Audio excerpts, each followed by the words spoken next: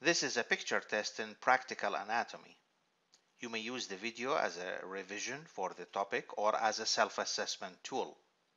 For the purpose of self-assessment, pause the video and spend your own time to read the question and come up with the answer. Then replay the video to confirm your answer and listen to the comments and explanations. Injury of which of the nerves A to C results in this hand deformity. This is a claw hand deformity resulting from a long-standing injury of the ulnar nerve. The small muscles of the hand are paralyzed, except the thenar muscles and the first two lumbricals, which are supplied by the median nerve. Adduction of the thumb is lost because of paralysis of adductor pollicis, supplied by the ulnar nerve. Paralysis of the interosseous muscles causes extension of the metacarpophalangeal joint and flexion of the interphalangeal joints. That's to say clawing, which is the reverse of their action. This clawing is produced by the action of the long digital flexors and extensors whose bellies are present in the forearm. Clawing is most prominent in the fifth and fourth fingers, as you can see here, because the lumbricals of these fingers are, and not only the interossei, are also supplied by the ulnar nerve, thus resulting in paralysis of the both lumbricals and interossei related to the fourth and fifth digits, and clawing is more pronounced in these digits. Now returning back to the dissection, it shows a view of the axilla showing the axillary artery, cords and branches of the brachial plexus. The pectoral muscles, pectoralis major and pectoralis minor are reflected up. In order to identify the branches A, B and C, let's try to find the capital M configuration of the medial and lateral cords of the brachial plexus and their terminal branches. This will serve as a clue for the brachial plexus. This is the lateral cord of the brachial plexus located lateral to the axillary artery and it has two terminal branches, the musculocutaneous nerve that passes through coracobrachialis muscle and the lateral root of the median nerve this lateral root of the median nerve unites with the medial root of the median nerve, which comes from the medial cord of the brachial plexus. So this is medial cord of the brachial plexus, which is medial to the axillary artery. And the medial cord has another terminal branch, and that is the ulnar nerve.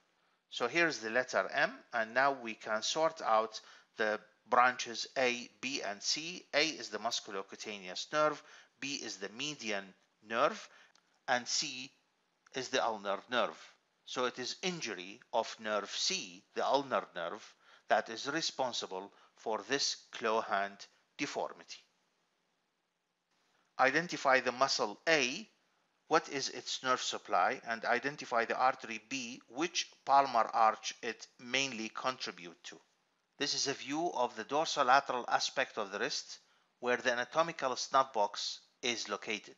The tendons of abductor pollicis longus and extensor pollicis brevis bound the anatomical snuff box anteriorly.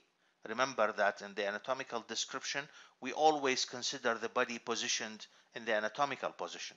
So this is the anterior side in the anatomical position. And also in the anatomical position, the tendon of extensor pollicis longus here bounds the anatomical snuff box posteriorly. Note that the tendons of abductor pollicis longus and extensor pollicis brevis they lie in the most lateral compartment beneath the extensor retinaculum. Here, the extensor retinaculum is partially removed. This is the remaining part of the extensor retinaculum, but it is removed from this location, exposing its lateral compartments.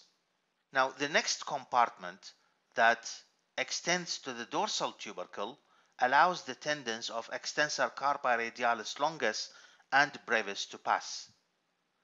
So tendon A is the tendon of extensor carpi radialis longus, which is attached to the base of the second metacarpal bone. The brevis extensor carpi radialis brevis tendon is attached to the base of the third metacarpal bone and it is located more medially. Also note here that the groove on the medial side of the dorsal tubercle lodges the tendon of extensor pollicis longus where the tendon changes its direction against the dorsal tubercle of the radius. Now this muscle, A, extensor carpi radialis longus, being an extensor muscle, it is supplied by the radial nerve. The radial nerve spirals in the posterior compartment of the arm to appear at the lateral side of the anterior compartment of the arm proximal to the elbow. Here it lies between brachialis on one side and brachioradialis and extensor carpi radialis longus on the other side, supplying both these muscles. The artery that can be seen in the floor of the anatomical snuff box and its pulsations felt in the living is the radial artery. The radial artery in the flexor compartment of the forearm curves laterally to be in the place where it is marked here. Now from this position, the radial artery enters the palm by passing between the two heads of the first dorsal interosseous muscle here. Remember that the dorsal interossei are bicipital and have two heads. The artery then passes between the two heads of adductor pollicis muscle and it appears in the palm and we can see it here in this dissection where the long flexor tendons are removed. The radial artery will form the deep palmar arch after uniting with the deeper branch of the ulnar artery. But it's the radial artery that's the main contributor of the deep palmar arterial arch which anatomical structure is involved in this deformity. Thickening of a fibrous digital sheath produces stenosis of the osseofibrous tunnel. So it is the fibrous flexor sheaths that are involved in this deformity. The thickening is the result of repetitive forceful use of the fingers. The tendons of flexor digitorum superficialis and flexor digitorum profundus are entrapped in the tunnel and the person is unable to extend the finger. And when the finger is extended passively, a snap is audible and flexion produces another snap. Clinically, it is called snapping finger or trigger finger. It is labeled trigger finger because when the finger unlocks, that's to say it is extended, it pops back suddenly as if releasing a trigger of a gun. Identify the nerves from which each of the branches A to C originate. This is a superficial dissection of the hand showing the cutaneous nerves.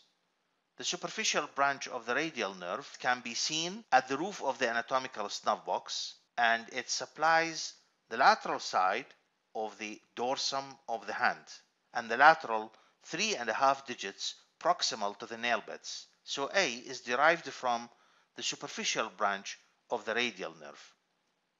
The median nerve in the palm, apart from motor branches like this one, recurrent branch of the median nerve, the median nerve sends cutaneous sensory fibers, digital branches, and these are sent to the adjacent sides of the lateral three and a half digits.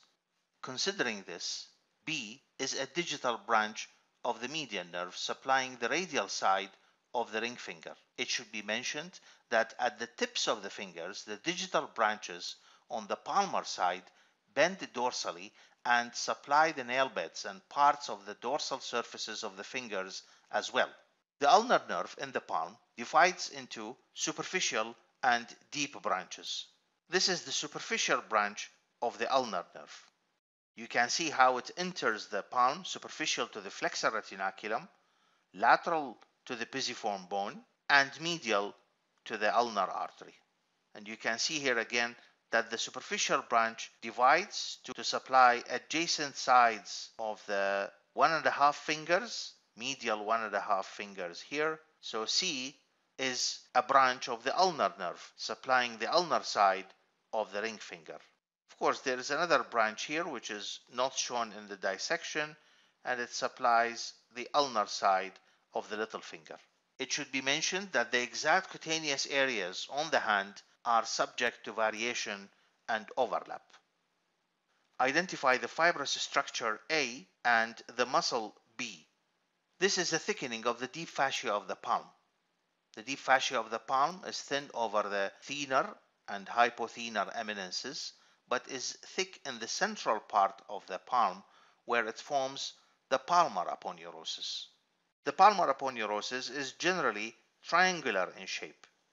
The distal end of the aponeurosis divides at the roots of the fingers into four bands. The bands pass to the fingers, each is fused with the fibrous flexor sheath of that finger. The palmar aponeurosis is firmly attached to the overlying skin, thus improving the grip. In addition, the palmar aponeurosis it sends deep septa that divides the palm into fascial spaces which limit the spread of infection. The tendon attached to the apex of the palmar aponeurosis belongs to a muscle of the flexor compartment of the forearm. It is the palmaris longus muscle of the superficial group of the flexor muscles of the forearm. This muscle is characterized by a short belly and a long tendon that passes superficial to the flexor retinaculum and is attached to the palmar aponeurosis. The tendon may be absent in some people, although its function is negligible, but it's clinically useful as it might be used for tendon grafting elsewhere in the body. Identify the muscle A, name the fibrous tissue located at its distal end. This is a tendon of extensor digitorum muscle. The muscle belly divides into four tendons, one for each of the fingers. And note here that the tendons of extensor digitorum are bound together on the back of the hand by tendinous slips. These tendinous slips make it difficult to extend the ring finger alone from a clenched fist. On the distal end of the metacarpals and along the phalanges, the extensor tendons flatten to form the extensor expansion. Each digital extensor expansion is triangular upon aponeurosis that wraps around the dorsum and sides of the head of a metacarpal bone and the proximal phalanx. The extensor expansion then divides into a median band that passes to the base of the middle phalanx and two lateral bands that extend to the base of the distal phalanx.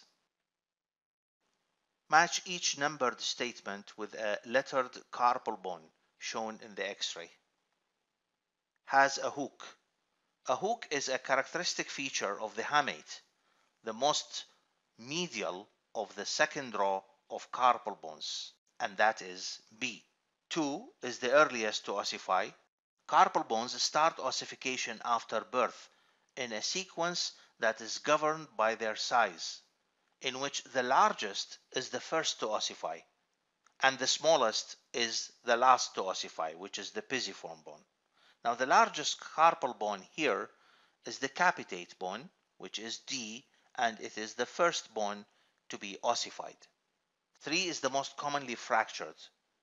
The most commonly fractured carpal bone is the scaphoid, which is the most lateral of the first row of carpal bones that articulates with the radius. And it is E.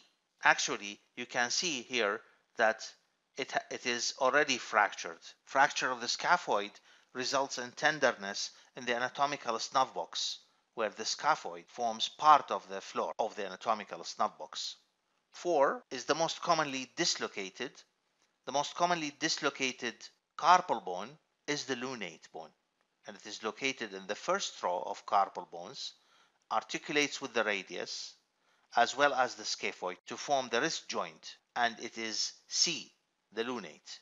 5 is considered as a sesamoid bone in the tendon of flexor carpi ulnaris the carpal bone that is considered to be a sesamoid bone in the tendon of flexor carpi ulnaris is the pisiform bone.